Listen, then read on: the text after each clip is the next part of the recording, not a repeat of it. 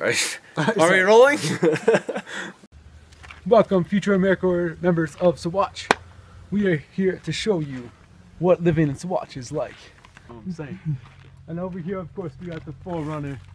You know, we ain't always running, but when we running, we running for something. That's what we like to say around here in Saguache. So, anyways, let me just take you inside. We'll have you, we'll have a nice tour.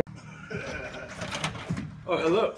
Welcome to our humble abode. As you can smell, or maybe you can't, we have bleach in the air because we just cleaned this. Are you working? What kind of work do you do?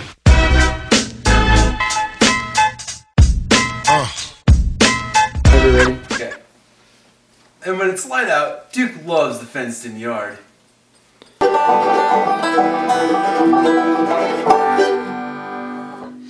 Here in the trailer, we also like to build hot fires in the winter to stay warm. And we have plenty of room for activities. Like playing our instruments.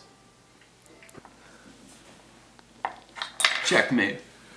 Here at Saguache, we're always breaking a mental sweat. That's because this air is asbestos. And black mold free! And while we cook dinner, we like to hang out.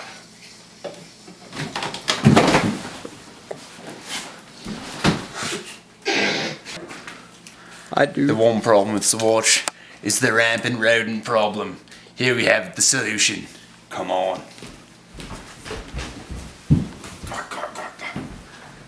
These boys don't get dinner by nightfall, they surely be hungry. Whoa! Go! Go! Ah, get it! Get it! Get it! You don't got one! We got one! We got one! We got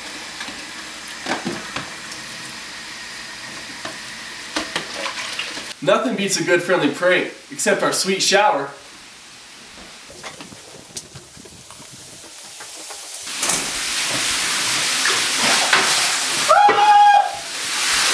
Because I got this great shower to keep me warm with seven sources of water.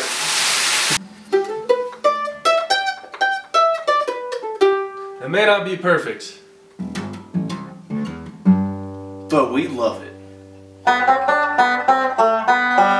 So come on down to Saguache and find out what it's all about.